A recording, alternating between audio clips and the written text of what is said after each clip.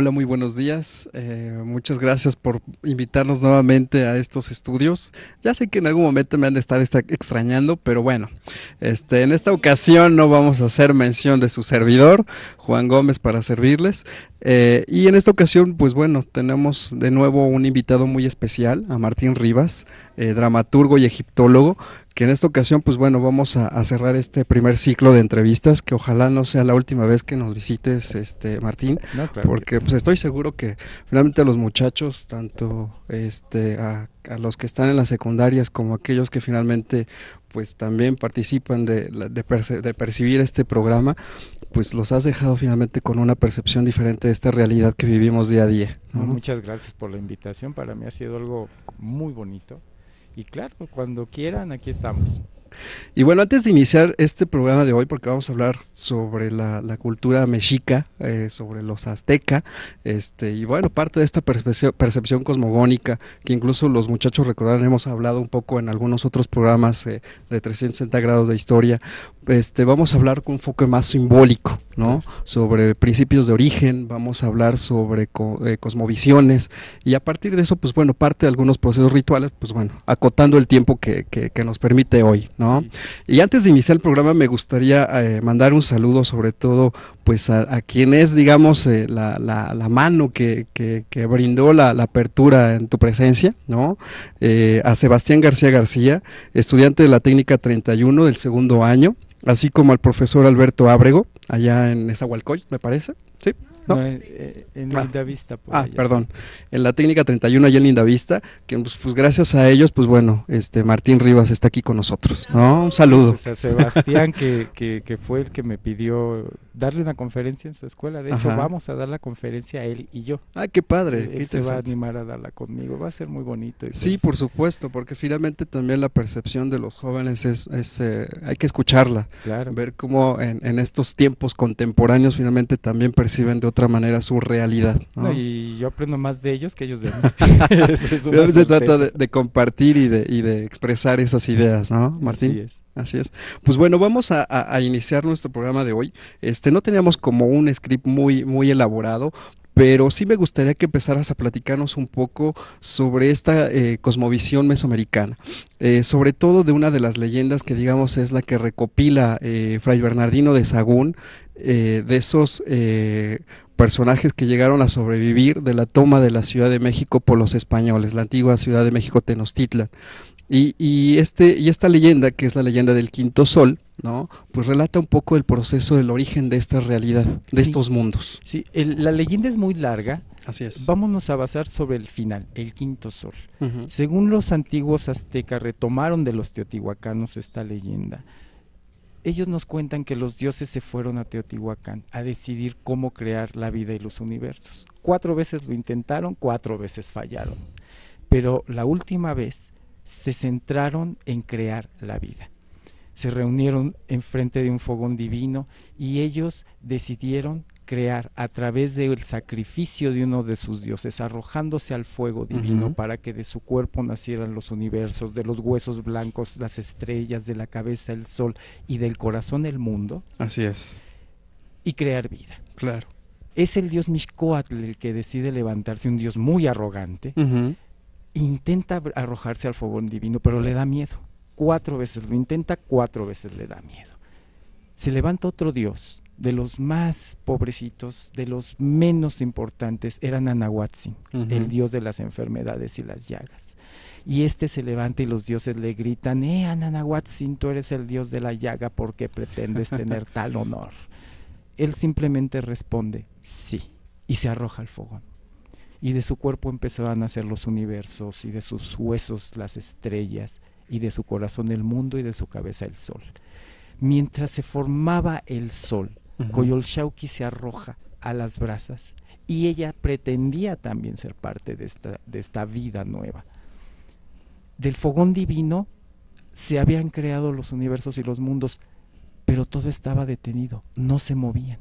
Y los dioses le gritan a Nanahuatzin, el quinto sol es el sol del movimiento porque sigue su camino por el cielo. ¿Por qué no te mueves? Una voz débil del fuego sale y dice, no puedo, quiero sangre los dioses toman un pedazo de la noche y lo convierten en piedra y con esa piedra forman un cuchillo y se rasgan el brazo y empieza a emanar la sangre. Y de la sangre que caía al fogón comienza a salir humo y el humo empieza a levantar al sol poco a poco y también a la luna, a Coyolxauqui. Una vez que el sol iba elevándose, poco a poco, empieza una voz estentoria del propio Nanahuatzin que dice, de hoy en adelante llámenme Tonatio, dejaré de ser el sol llagado. Y así fue, según la cosmogonía azteca teotihuacana, cómo se crearon los universos y el mundo. A partir de esta idea de la sangre empiezan los ritos y ceremonias de sacrificio que ellos utilizaban para alimentar a sus dioses. Para ellos la sangre no solamente es un elemento de, simbólico de vida, ya que la sangre, a través de la muerte de alguien que se sacrifica, le da vida a los dioses. Claro. Finalmente, incluso en la mayoría de, estos cultos eh, de fertilidad y de origen eh, a nivel, eh, a nivel este, mundial, universal, nos van a pedir también ciertos sacrificios, ¿no? Hacer una donación tanto eh, de este elemento físico que es la sangre, e incluso en, cuestiones cristiano-católicas también se hace un sacrificio de sangre, eh, hacemos canibalismo, ¿no? Aquellos que tenemos, somos practicantes de estas ceremonias eh, y, demás, que, y, que, bueno, de, de manera simbólica, ¿a qué nos conlleva? Porque bueno, tenemos la percepción, ¿no? De, equivocada de que bueno, este, este tipo de cultura, si no hubiera sido por los españoles, eh, hubiéramos progresado de otra manera, eh, no estuviéramos tan jodidos como lo estamos, este, en fin, ¿no? Eh, tuviéramos una percepción diferente, ¿sí? ¿Qué, qué significa de, de manera simbólica hacer este tipo de sacrificios? Bueno, en mi opinión, yo creo que es miedo a lo que hay después de la muerte. Cuando uno se muere, ¿qué hay después? Se termina la cosa, continuamos en otra vida, todas las culturas sin excepción, egipcios, aztecas, mayas, olmecas, eh, todas sin excepción, le tenemos miedo a lo que hay después de la muerte. Y yo considero que, que los aztecas buscaban esta forma de, de, alabar a sus dioses para que esto les permitieran vivir, en, el, en, en este caso en el Tlalocan, y no mandarlos al, Mictlán. El Mictlán es, digamos, el equivalente al infierno de los católicos mm. y el Tlalocan el cielo de los católicos, digámoslo así. Entonces, yo considero que el miedo a lo que hay detrás de la muerte es lo que hace que estas ceremonias tengan este contexto incluso macabro. claro. Yo, toda mi familia es católica, yo personalmente no lo soy, pero al conocer las ceremonias católicas que mencionabas, a mí me daba miedo de niño imaginarme que la hostia era el cuerpo de Cristo Así es. y que me estaba comiendo a Cristo. Así es. Entonces, eh, eh, eh, empezar a entender que cada elemento tiene como finalidad comprender lo que hay más allá de la vida, es lo que crea estas ceremonias en todas las religiones. Claro. No sé si me equivoque, pero... No, por supuesto. Y además, pues bueno, viene parte del origen del universo para poder explicar nuestro entorno, el punto final donde surgimos y hacia dónde encaminamos finalmente nuestro ser. Cada, cada orden, ¿no? Es, estamos hablando de un orden porque finalmente cada persona que nacía tenía un propósito de nacer, eh, tenía un fin para poder este, vivir en esta realidad con sus otros hermanos eh, y subsecuentemente pues ir eh, acrecentando finalmente también su cultura. Sí, así es. Incluso dentro de la poesía, yo recuerdo un pasaje de uno de los poemas del rey poeta Netzahualcoyotl que dice, solo venimos a soñar, solo venimos a dormir, por prestadas tengamos las cosas mañana o pasado. Este fragmento habla un poquito de ese sueño eterno, de la muerte, de lo que hay más allá de la vida. Exacto. Entonces, todas las artes eh, que, se forman, tanto las poéticas como las escultóricas. No sé si recuerdas cómo, cómo Posada describe a la, a la Coatlicue, por ejemplo. Claro, ¿no? sí. Él nos dice que era fui creada con arte indígena antiguo, arte brutal y pavoroso, repulsión y atracción, fantasía y fascinación. Entonces, estos elementos que nos permiten ver dentro de un mundo vaya, yo recuerdo muy bien cuando pisé, por primera vez el Museo de Antropología e Historia y me encontré con la Coatlicue. Fue, me impactó porque dije una mujer con cabeza de serpiente y llena de corazones y cráneos su cuerpo. Fue muy impactante. es una manera que los aztecas tenían de representar su propia cosmogonía. Era brutal y pavorosa, pero no dejaba de ser hermosa. Sí, sobre todo en esta percepción eh, simbólica. Regresamos a, finalmente al hilo conductor que va a ser este programa. Elementos simbólicos que nos van a ayudar en la interpretación. Recordando que, bueno, en sí este, estos grupos eh, mesoamericanos en su mayoría no tenían un tipo de escritura específica, sino más bien se basaban a base de símbolos, de elementos religiosos, finalmente que van asociados a un entorno ecológico y un desarrollo cultural. ¿no? Y eso es bien interesante porque fíjate que según me platicaba un historiador alemán, la civilización no puede ser civilización si no tienen una escritura. Exactamente. Y los aztecas no tenían una escritura como tal. Así es. Pero eran una enorme civilización que además conquistó toda Mesoamérica. Exactamente. Eh, me explico, entonces, de alguna manera la civilización azteca ha sido un parámetro de, de, de, lo que somos ahora como mexicanos. Así es. no sé, decir azteca es remitirnos a un pueblo guerrero, a un pueblo que, luchó desde el inicio de Tenochtitlan, ¿no? Porque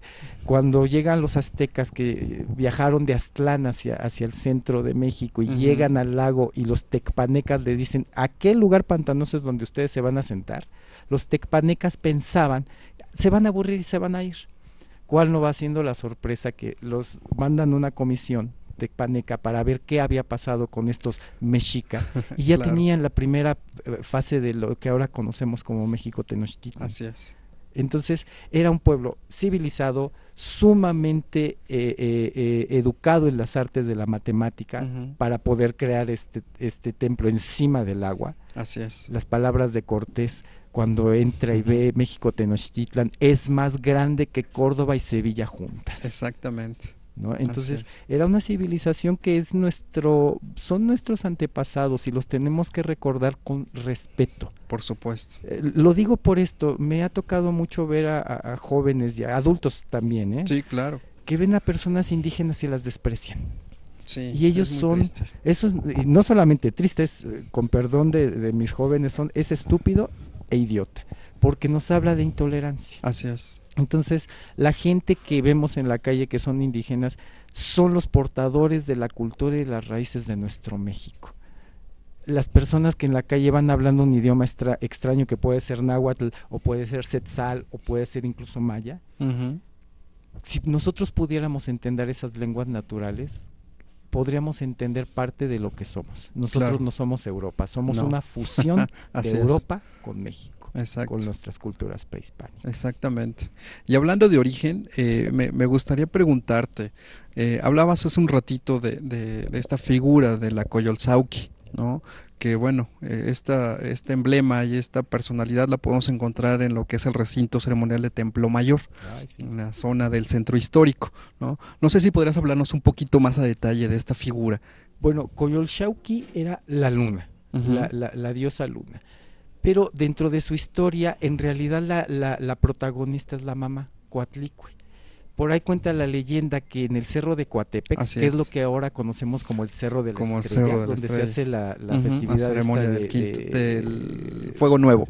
Del fuego nuevo, pero también en, las épocas de, ese, eh, no es cierto, donde crucifican al Cristo. Las, la, ¿mandé? Sí, sí, pero la Semana Santa. La Semana Santa. El Via Crucis. El Via Crucis de Semana Perdón. Perdón nuestra. Estamos más con los aztecas que con los. Bueno, en fin.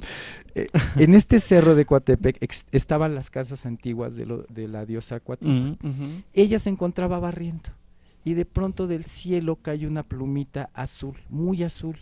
Ella la ve, la toma y por la belleza de esta plumita se la coloca y la guarda en su seno. Sigue barriendo. Al colocarse esa plumita en el seno, ella quedó embarazada. Esa plumita era de un ave que ya está extinta que se llama cotinga, que solamente se encontraba en las selvas de Chiapas, ella queda embarazada. Nunca nos aclara los aztecas por qué, cómo y cuándo, pero ella quedó embarazada. claro. La hermana al enterarse de este embarazo y no saber quién es el padre, empieza a enojarse y empieza a, a, asusar a los 400 hermanos, que se les conoce como los 400 surianos, para matar a la madre que se embarazó y sin saber de quién es el padre. Los convence y empiezan ellos a rodear el cerro de Coatepec con la intención de subir y asesinar a, su propia madre. La madre desesperada escucha dentro de su vientre una voz que le dice, Madre mía, no te preocupes, yo he de nacer para la guerra mientras subían ellos, se desarrolla rápidamente dentro del cuerpo de la, de la este, eh, coatlicue un ser y nace de una manera rápida. Este ser se atavía para la guerra, empieza a luchar contra los 400 surianos, decapita a Coyolxauqui y el cuerpo de ella rueda por el templo de Coatepec, por el cerro, estaba plagado de piedras filosas y el cuerpo cae desmembrado al pie de este cerro el dios que nació fue el dios Huitzilopochtli, el dios de la guerra. Así es. Esta historia es la que hace que los aztecas creen este enorme templo mayor. El templo mayor es una reproducción del cerro de Coatepec. Así es. Y cada vez que había una ceremonia en el mes Toshcatl, que, eran las ceremonias más eh, más este digamos lo que es Navidad para nosotros, para ellos el mes Toshcatl era el mes sagrado en, este mes se, sacrificaban miles de personas en honor a Huitzilopochtli. Los cuerpos eran arrojados a través de las escalinatas y se desmembraban. Cuando se desmembraban, la intención era que cayeran en la piedra que hoy conocemos en el Templo Mayor, para reproducir este mito del nacimiento de Huitzilopochtli, el nacimiento del dios de la guerra. Claro. ¿Me explico? Entonces, Coyolxauqui y, y, y Huitzilopochtli nacen para ser enemigos según la cosmogonía azteca, este Huitzilopochtli, que es una representación solar, digamos que es un elemento solar, está en constante batalla persiguiendo a la luna. Por eso anochece y por eso eh, amanece. Así es. Obscurece, amanece, obscurece, amanece y es la eterna lucha entre el bien y el mal según la cosmogonía azteca dentro de lo fuerte que es matar a seres humanos, claro. para ellos es un elemento de vida. Así es. Así es. Y sobre todo que les da cohesión social, ¿no? que finalmente son elementos simbólicos. Regresamos a este punto, porque varios de, estas circunstancias y de estos símbolos finalmente van a ser eh, eh, elementos eh, iconográficos que nos van a poder a, nosotros como investigadores, a los muchachos, y si están más interesados en ese punto, a poderle dar lectura finalmente a este tipo de hechos y de acontecimientos.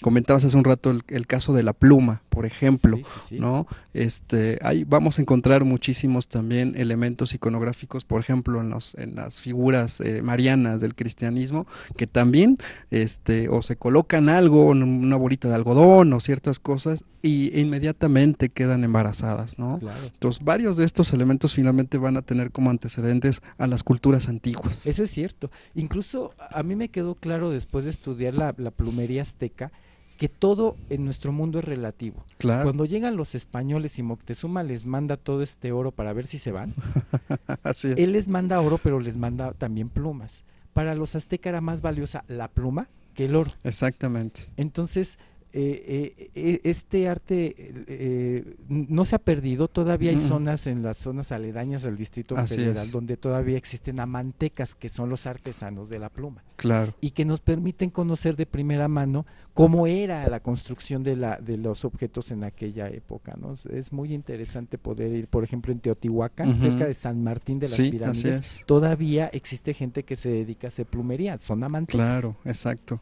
Y además hay un delicioso pulque por allá.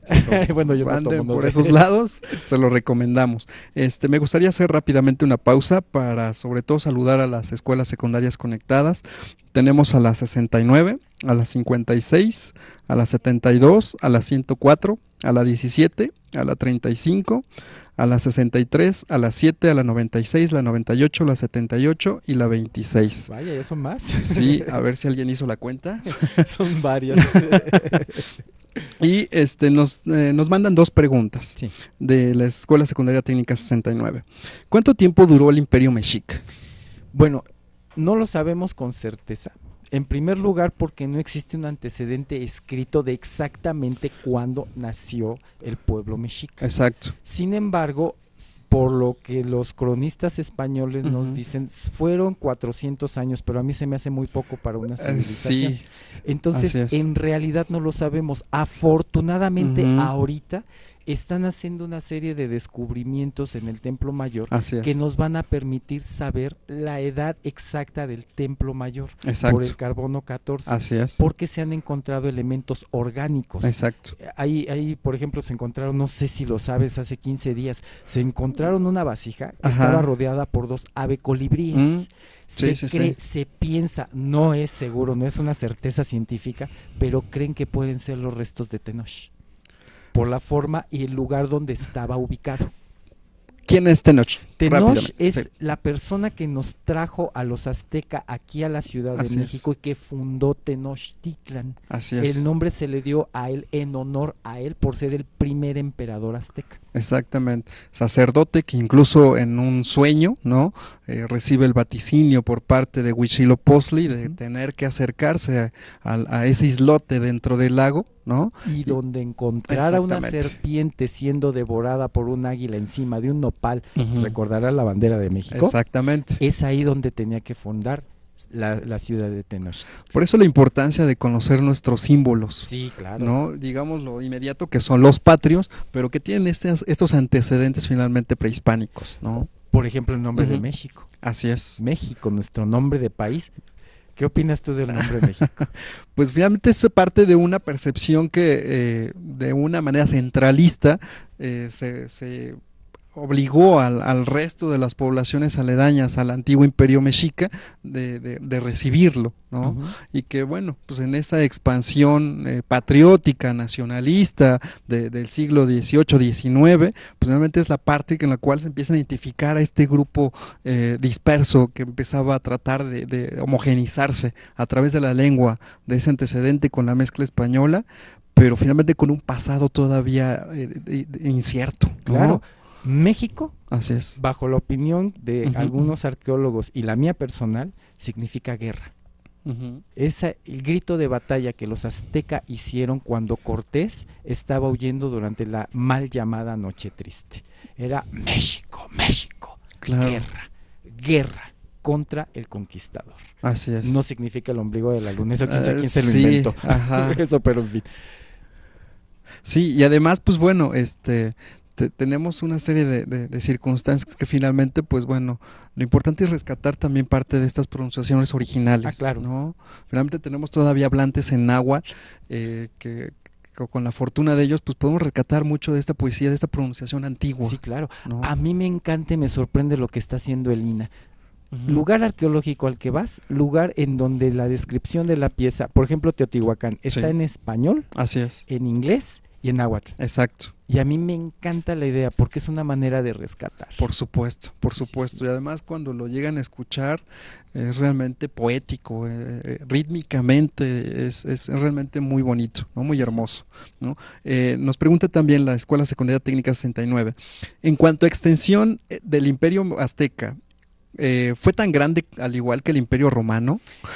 Yo, yo no, no, no podría decir que en las, en las mismas circunstancias eh, históricas y contextuales, ¿no? Porque finalmente tenemos dos elementos geográficos totalmente diferentes. Claro, por ¿no? supuesto. Y en cuanto a dimensiones, pues eh, yo podría decir que no. Pero este, lo, lo sorprendente es finalmente, y lo comentaste hace un rato, el tiempo de expansión. Claro. Yo lo que considero es más que ser un, eh, u- u- un territorio conquistado como los romanos conquistaron a los demás pueblos, Así es. yo considero que fue influencia. Así es. Una influencia que fue necesariamente guerrera, Claro. pero no subyugante.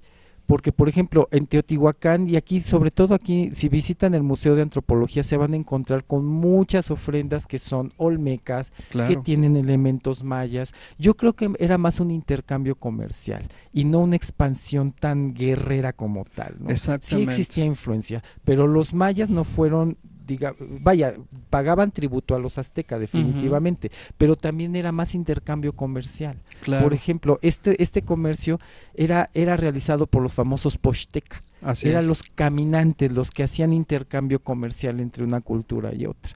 Habrá que ver qué nos dicen los descubrimientos del Templo Mayor, ¿verdad? Pero yo también estoy de acuerdo como tú, yo creo que, yo creo que no, que No. no, eran similares No, en nada. exacto. Y además, eh, ahorita que mencionas esta cuestión del comercio, pues estamos hablando finalmente de los primeros personajes que forzosamente por su quehacer tuvieron que aprender otra lengua. Claro. Claro, por ejemplo, el caso de, de, de, de Malitzin, Malinche, que le... Bueno, esa es otra cosa que me gustaría platicar, ¿qué opinas tú? Sí. Pero Mali, Malitzin, esta mujer que venía con Cortés, era políglota. Exacto. Hablaba maya, hablaba nahuatl, hablaba... Vaya... una serie de, de, idiomas que le permitieron ser la traductora de Cortés. Así es. Cuando tú escuchas Malinche, ¿qué te viene a la cabeza? ¿No? Pues alguien que prefiere lo extranjero, que realmente es la percepción que maneja, ¿no? Este, que, que, alguien, pues bueno, rechaza parte de, su, de sus raíces por preferir algo de fuera. fuera. ¿no? ¿Tú me creerías esta historia que me contaron? Malinche no era la mujer, Malinche era Cortés, era el apodo despectivo que le daban los aztecas a Cortés, no a la mujer. ¿Me explico? Porque malinche de alguna manera, nosotros cuando decimos malinchista es despectivo. Así es. Los aztecas le decían Cortés malinche de forma despectiva a este hombre, ¿no? Y eso también es algo bien interesante, que lo pueden encontrar en las bibliotecas, ¿eh? Fíjate, qué, qué, buena, qué buena, buena este, descripción y buen dato que acabas de comentar, ¿no? Eh, de la secundaria 72. Ojalá se pudiera traspasar información como esta a los jóvenes, pues cada vez más se olvidan de nuestras raíces o lo asocian con cuestiones pasadas de moda. muda. Yo creo que más bien es la percepción que también tenemos tanto en casa como en a veces en algunas escuelas, ¿no? De, preferir a lo mejor eh, ciertas circunstancias culturales más actuales para que los muchachos de alguna manera no se desasosieguen, ¿no? Claro. Pero es, es, muy importante, este, sobre todo sí mandarlos a los museos, sí llevarlos a alguna visita, sobre todo los maestros, este, aprovechar parte de esa información que se encuentra en lugares, en las zonas arqueológicas, porque es la única manera manera inmediata para poderlos interconectar con esa información. Claro, y además que tenemos la maravilla que los tenemos a la mano. No solamente está el Museo del Templo Mayor, ¿eh? en el norte de la ciudad está el Templo de Tenayuca. Exactamente. Que, es una maravilla, es un museo de sitio hermoso. Está Xochicalco, está Mixquic, está Cuicuilco. y todo lo tenemos aquí dentro de la Ciudad de México. Exactamente. Y que además, no sé si lo saben muchachos, pero los domingos es gratuito. Sí, claro. No les pueden cobrar un centavo a la entrada de ningún museo ni de ninguna zona arqueológica. Sí. Es gratuito. Entonces, si lo tienen aquí, porque no Exactamente. Recomendación, este, darse una leída previa, a lo mejor buscar algo somero en internet, pero finalmente vayan con algo para que finalmente esa visita pueda ser mucho más provechosa. Yo les recomiendo, muchachos, que visiten en YouTube, busquen eh, los videos de Lina qué cosas tan hermosas están sacando, ¿eh? y ahí se pueden dar una idea de lo que van a ver. Por ejemplo, el descubrimiento que acaban de hacer hace dos meses acerca de estas mujeres, eh, encontraron una serie de esqueletos en el Templo Mayor, maravilloso, y el video de cómo se descubrió está en YouTube. Exacto. O lo que pasó en Teotihuacán, que se encontraron dentro de la pirámide, así es. este, mm, objetos muy interesantes, y los videos están en YouTube, los pueden ver y son deliciosamente a menos. Claro, la riqueza viene en el conocimiento y en el proceso cultural, cómo aprovechas ese conocimiento. claro, ¿no? no, es más económico, claro. es, es más eh, emotivo y, cultural, ¿no? Digámoslo así. Eh, nos mandan felicitaciones de la Escuela Secundaria 96. Ah, Muchas gracias. Gracias, muchachos. Nos pregunta la Secundaria Técnica 104. ¿Cuál era la dieta de los azteca porque me interesa saber si por ello no había sobrepeso. Bueno, para empezar no había sobrepeso porque eran hombres que, se la pasaban eh, eh, en el trabajo forzado, digámoslo, ¿no? Era, era un pueblo guerrero y tenía que estar sano. Pero bueno, ellos les encantaban los chapulines. Así es. Que eran deliciosos, los quelites. Claro. Eh, ¿Qué otra tú me puedes ayudar? Estaba... Pues bueno, teníamos algunas carnes como por ejemplo el cholescuincle, que era ah, más ritual. El perrito, sí es Exacto. El venado. El venado, ¿no? ¿Tú sabías, muchachos, hay una planta de la cual Moctezuma le entregaban una cosa que se llamaba huautli, el huautli con miel. Ese era un alimento exclusivo para emperadores. Y hoy lo comen ustedes bajo el nombre de la alegría. Así es. El amaranto. El amaranto. Ay, y además es nutritivo lo que le sigue. Por supuesto. Tienes hambre, cómprate un amarantito, cómetelo y te calma el hambre. Exacto. Así es. Como incluso recomendaban también un buen y delicioso pulque. bueno, yo me voy por el otro, eh, la bebida de los dioses con la que Moctezuma recibió a Cortés, el chocolate. El chocolate. El chocolate. Así es. Y, fue una bebida que se fue al mundo. México se la regaló al planeta. Así es. Que a propósito te hago una, una pregunta. ¿Tú sabes cuáles son las dos únicas bebidas que se dan en México y en Egipto? Me refiero en el Egipto de los faraones y en el México prehispánico. No hay otro planeta en donde se pueda dar esta, esta, esta bebida. Ay, no, a ver, ilustra. La Jamaica. La Jamaica. Una vez platicando con el embajador de Egipto, le ofrezco Jamaica y me dice, nosotros también la tenemos y somos los dos únicos pueblos en el planeta que la tenemos. Es cierto. Sí, sí, tienes toda la, razón. En algunos documentales sobre mercados en esa parte este, del norte de África hacia Asia Menor, este, aparecen, aparece la Jamaica. Sí, la Jamaica. Y hay otra, la guanábana. La guanábana es otro alimento muy mexicano. ¿eh? Exacto. La preparan en té, sobre todo, ¿no? La jamaica. Sí, sí, la jamaica. Sí, es una infusión. Exacto. Es un té, efectivamente. Eh, la secundaria, ah, perdón, ¿Quieren conocer ustedes dónde pueden comer comida típica mexicana muy rica? En el mercado de Sonora. Claro. Ahí en el mercado de Sonora es donde pueden tener más acceso a la comida que se que, que comían los antiguos. Sí, y además, pues bueno, es un centro también mágico. Ah, claro. ¿No? Este, que, que, reúne finalmente parte de nuestra tradición en la herbolaria tradicional que es la, mexicana, ¿no? Eh, indudablemente vas a encontrar aromas, este, elementos, rituales, materiales. Tu pulque famoso. Claro. y además es, eh, eh, es, es una delicia ver y entrar a ese tipo de lugares porque pues nos remontamos a esos elementos míticos. Sí, claro. El copal, cuando llegas y el copal, bueno, a mí me encanta el aroma del copal. Claro, claro. Eh, ah, muchas gracias por parte de la secundaria 77, nos dice qué grandes en la historia. Ah, eh, hacemos, hacemos lo que podemos. Claro, lo poquito. ¿No? Eh, hablando de estos elementos simbólicos en cuanto, en cuanto al mercado, me gustaría que nos pudieras platicar un poco más de los procesos rituales. Un poquito más. Hablábamos, eh, me comentabas hace un rato, este, haciendo y preparando nuestra, nuestra entrevista del programa de hoy, eh, sobre dos rituales que realizaban en, en el México antiguo. Bueno, eh, vamos a hablar del mes Toshkat. Okay. ¿Puedo hacer aquí un paréntesis? Así es, por favor. Marta Toriz es una investigadora del Instituto Nacional de Bellas Artes y también es académica de la UNAM ella nos regala dos libros que se pueden eh, conseguir en las librerías del Instituto Nacional de Bellas Artes o en el Centro Nacional de las Artes en la Torre de Investigación, en el Centro de Investigación Teatral Rodolfo Sigli. Ella escribió dos libros, uno se llama La fiesta prehispánica, un espectáculo teatral, y el segundo Teatralidad y Poder en el México Antiguo, la fiesta Toshcatl celebrada por los mexicas. Me gustaría que nos platicaras un poquito de eso y que pudiéramos a lo mejor cerrar parte de este programa regresando a la teatralidad, porque finalmente también en estos procesos actuales y contemporáneos de comunión con la cuestión cristiano-católica, pues seguimos realizando esto, estos puntos principales. ¿no? La fiesta Toshcatl estaba dedicada a dos dioses, a Huitzilopochtli primeramente, como dios de la guerra y dios principal, en donde se les sacrificaba miles de personas que eran capturadas en las famosas guerras flóridas. Así es. Y el segundo dios era Tezcatlipoca, el dios del espejo negro.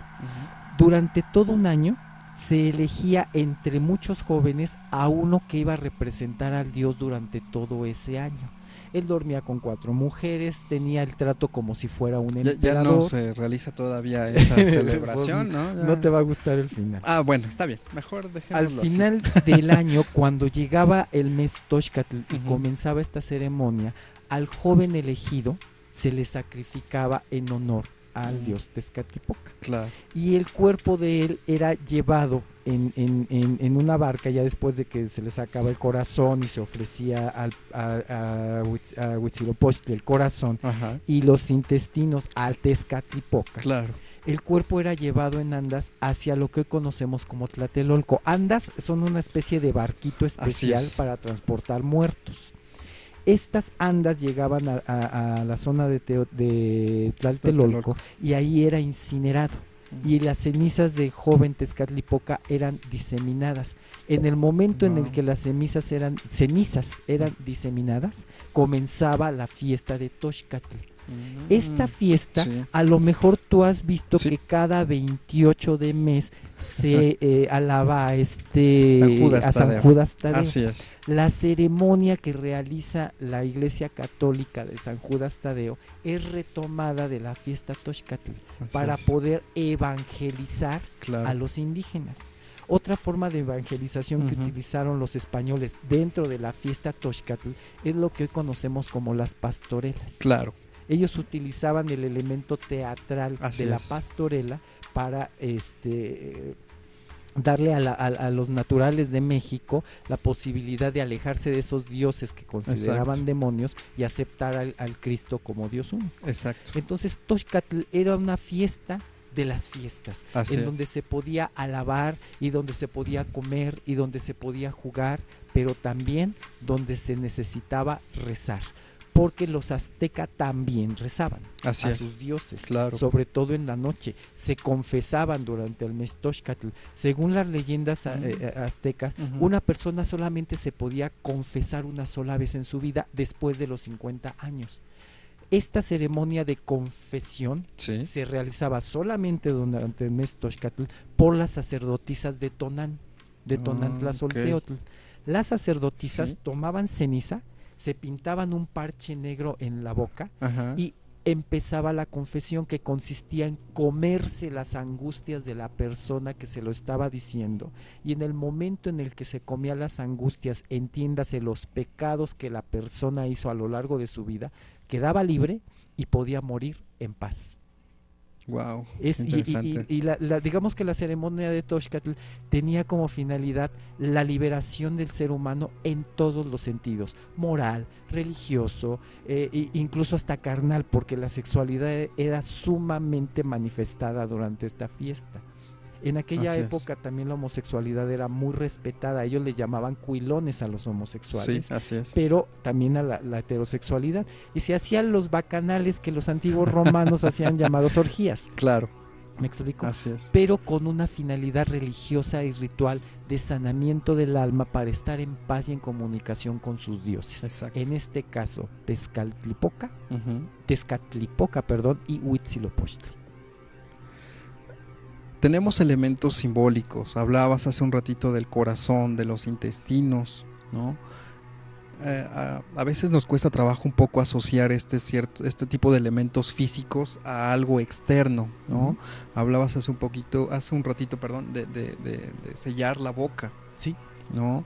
Eh, estábamos recordando eh, finalmente también una serie de circunstancias culturales que a veces nos pasan desapercibidas o creemos que son tan tradicionales que a veces ni siquiera entendemos cuál es el antecedente. Claro, incluso la Iglesia Católica retoma las confesiones que hace del México prehispánico, porque la Iglesia Católica no, tenía el confesionario. Exactamente. Esto, cuando ellos vieron que los aztecas se calmaban una vez que, confesaban los pecados, llamémosle así, ellos retoman este ritual azteca y lo, lo, incluyen dentro de sus ceremonias religiosas, pero no es algo que la Iglesia Católica tenga desde... No, para nada. No existe ningún antecedente hasta que llegan a México y es conquistado México Tenochtitlan. Exacto. Entonces, hay muchos elementos religiosos que son retomados por el catolicismo y que vienen de, los aztecas. Por ejemplo, nuestra morenita del Tepeyac. Claro. Es una representación católica de la diosa Tonantla Soltero.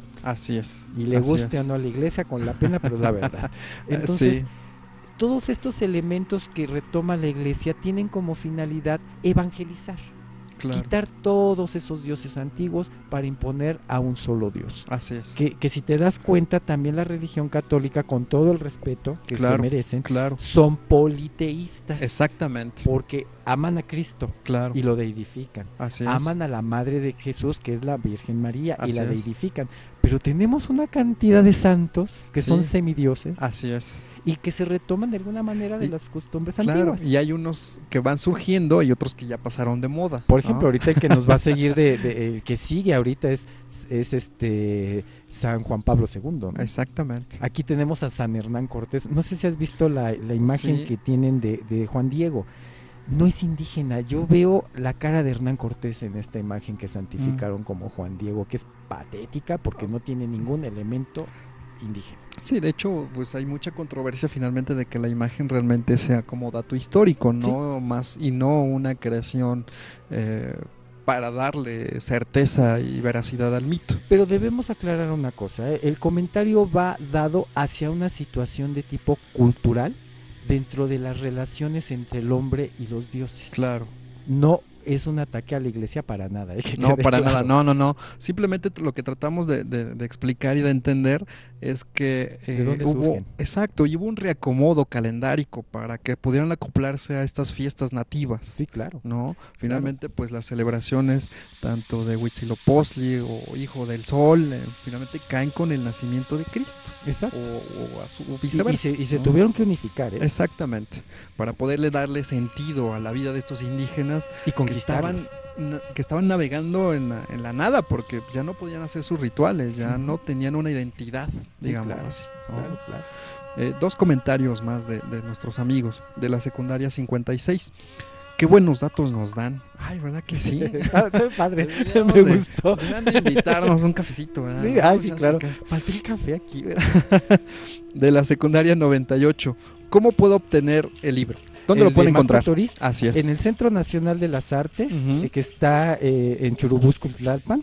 Eh, está la, la librería dentro y también en el Centro de Investigación Teatral Rodolfo Usigli o bien en las librerías del Instituto Nacional de Bellas Artes. Una de estas librerías está en el Palacio de Bellas Artes.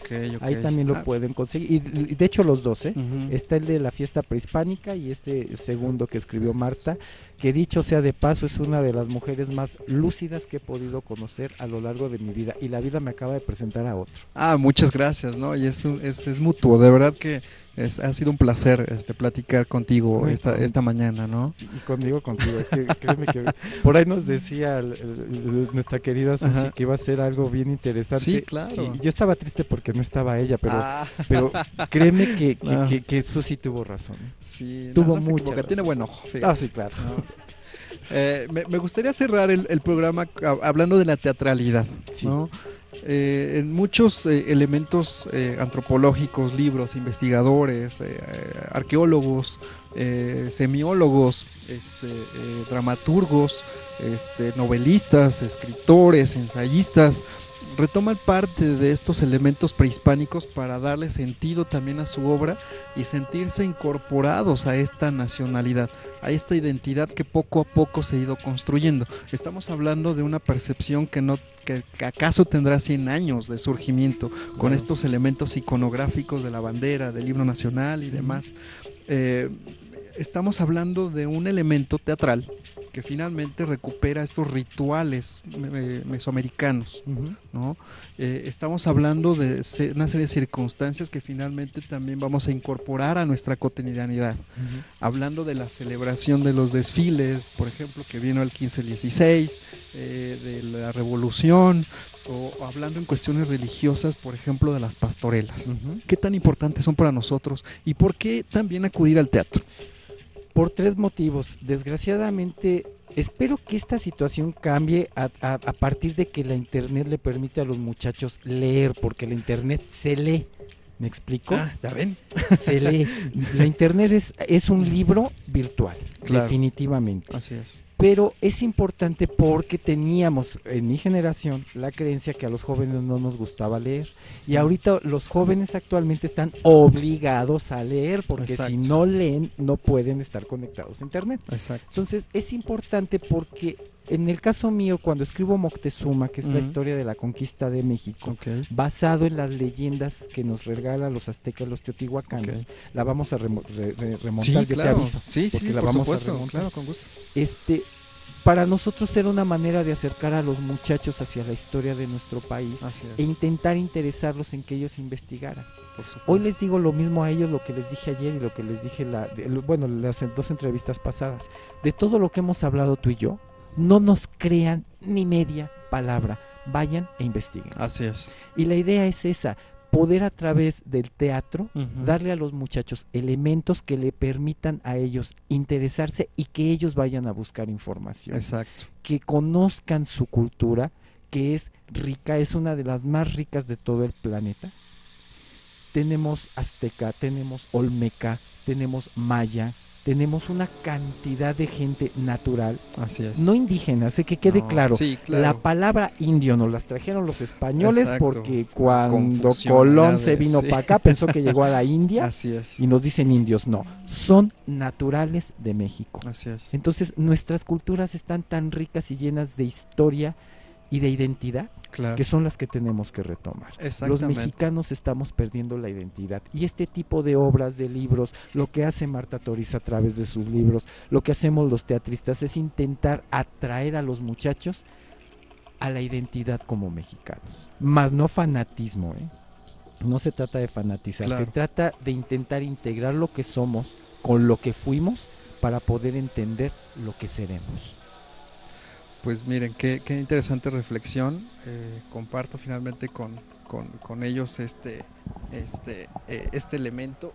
Y, y, bueno, miren, aquí tenemos un cuchillo de este, elaborado en obsidiana, ¿no? Y este, me, gustaría que nos describas un poquito este, este elemento, Martín. Bueno, es obsidiana. Este cuchillo me lo regaló José Solé cuando montó la obra de Moctezuma II de Sergio Magaña. Yo estaba montando la Sergio Magaña, sí, claro. Entonces, él estaba presentando la obra y la música que han estado ustedes escuchando de fondo pertenecen a esa obra de teatro y fue hecha con los instrumentos del Templo Mayor. Este cuchillo es una reproducción de los que se utilizaban. El cuchillo, lo que es la, la piedra, es original. Esto está hecho en cera. El maestro Sole le regalaron este cuchillo y él a su vez me lo regaló. Wow, qué interesante, qué y Con esto pues era un elemento para sacrificio humano, para abrir el, pecho, sacar el corazón y ofrecerlo a los dioses. Exacto. Pues bueno, este, con, con, esta reflexión eh, yo me quedo finalmente con pues es importante acercarnos al proceso histórico, a nuestros orígenes, para finalmente podernos conducir en esta vida y en estas realidades, algunas tan tormentosas, otros momentos no, pero finalmente hay lugares y, elementos de comunión. Así es. Este, eh, muchas gracias este, por pues esta plática tan amena, tan interesante. Estoy seguro que los vida que me puso a ti enfrente, que creo que fue una delicia platicar contigo. Me encantó. Muchas gracias. Ojalá no sea la última vez. No, estoy seguro que no. Este, ya por ahí nos están amenazando ya con algunas otras próximas. Y que, y que Susi nos sirva de moderadora, ¿qué te parece? Estoy, estoy de acuerdo. Estaría padre, ¿no? Sí, sí, sí, así es. Pues bueno, este, nosotros nos despedimos por el momento de esta transmisión. Agradecemos a DGS TV pues, las facilidades por eh, tener esta amena charla, conocerte también. Gracias. Y bueno, nos veremos en otra próxima emisión. Juan Gómez para servirles. Ay, qué